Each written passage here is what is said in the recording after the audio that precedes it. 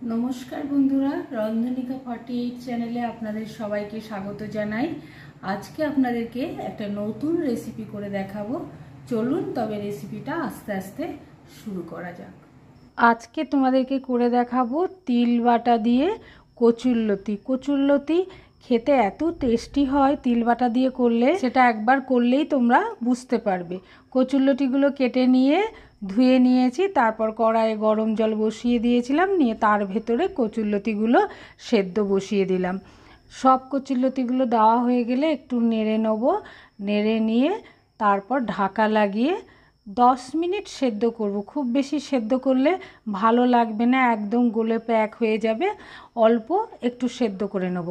সেদ্ধ হয়ে গেছে, ঢাকাটা খুলে নিলাম। এবার নেড়ে নিচ্ছি, নেড়ে নিয়ে তোমাদেরকে দেখিয়ে দিচ্ছি কেমন সেদ্ধ হয়েছে। এ দেখো সেদ্ধ হয়ে গেছে। এই রকমই সেদ্ধ করতে হবে। এর থেকে বেশি সেদ্ধ করলে গলে গেলে কচুরতি খেতে একদম ভালো লাগবে না। এবার একটা বাটি নিয়ে তার ভেতরে ঝান্না নিয়ে নিলাম। ঝান্নার ভেতরে সেদ্ধ করা কচুরলতিগুলো ঢেলে দিয়ে জলটাকে ঝরিয়ে নিলাম। অন্যদিকে একটা মিক্সি জার নিয়ে নেব। তার ভেতরে এক ইঞ্চি মতন আদা আর চার পাঁচটা কাঁচা লঙ্কা পেস্ট করে নেব। পেস্টটা হয়ে গেছে, তোমাদেরকে দেখিয়ে দিলাম, দিয়ে রেখে দিলাম এই পেস্টটা ঢেলে একটা বাটিতে। আবার একটা মিক্সি জার নিয়ে তাতে আরও চারটে কাঁচা লঙ্কা, এক চামচ মতন সর্ষে আর তিন চামচ তিল বাটা দিয়ে ঢাকা লাগিয়ে আবার একটা পেস্ট তৈরি করে নেব। নিয়ে পেস্টটা তৈরি করে রেখে দিলাম। অন্যদিকে কড়াইটা গরম বসিয়ে দিয়েছি, একটু তেল দিয়ে দেবো। তেল দিয়ে অল্প একটু পাঁচ ফোড়ন দেবো। পাঁচ ফোড়নটা দেওয়া হয়ে গেলে একটু যখন পাঁচ ফোড়নটা ভাজা হয়ে যাবে, তখন তার ভেতরে পেঁয়াজ কুচি কেটে রেখেছিলাম আগে থেকে, সেই পেঁয়াজ কুচিটা তেলের ভেতর দিয়ে ভেজে নেব।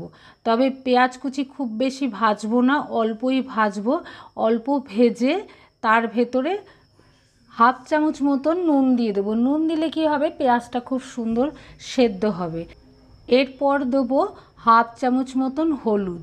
দিয়ে তারপর একটু নেড়ে নেব। নেড়ে নিয়ে পেঁয়াজটা কিছুক্ষণ ভাজা হয়ে গেলে তিল বাটা, তিল, সর্ষে আর কাঁচা লঙ্কা তার সঙ্গে আদা পেস্টটাও মিশিয়ে দিয়েছি দিয়ে সেই পেস্টটা দিয়ে দেবো। নেড়ে নিয়ে একটু ভেজে নেব। আর এই সময় গ্যাসের ফ্লেমটা একদম মিডিয়াম টু লো ফ্লেমে রাখতে হবে। এইভাবে তিল বাটা দিয়ে যদি তোমরা কচুরলতি করো গরম গরম ভাতে যারা খেতে ভালোবাসো, তাদের আর কিছু লাগবে না। এইবার টমেটো পেস্টটা কড়াইয়ের ভেতর দিয়ে মিশিয়ে নেব। মিশিয়ে নিয়ে তিল বাটা, সর্ষে বাটা, আদা বাটা, কাঁচা লঙ্কা সঙ্গে বেশ কিছুক্ষণ ফুটিয়ে নিতে হবে। নিয়ে একটু জল দিয়ে দেবো, মিক্সি জারটা ধুয়ে তারপর নেড়ে নিলাম। নেড়ে নিয়ে কাশ্মীরি লঙ্কার গুঁড়ো দিয়ে দেবো এক চামচ মতন। দিয়ে নেড়ে নিতে হবে, নেড়ে নিয়ে সেদ্ধ করা কচুরলতিগুলো কড়াইয়ের ভেতর দিয়ে আস্তে আস্তে মশলাটা কচুরলতির সঙ্গে মিশিয়ে নিতে হবে। মেশানো হয়ে গেলে একটু চিনি দিয়ে দেবো। তোমরা যদি মনে করো চিনি দেবে না তবে স্কিপ করে যাবে।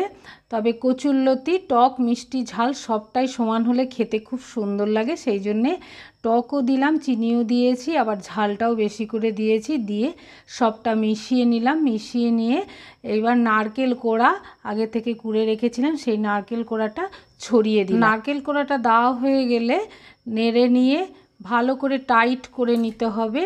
এক ফোঁটা জল রাখলেও চলবে না।